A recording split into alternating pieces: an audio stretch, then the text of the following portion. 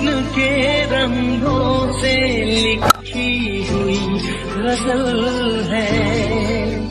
ये दुआ है मेरी रब से आशिकों में सबसे।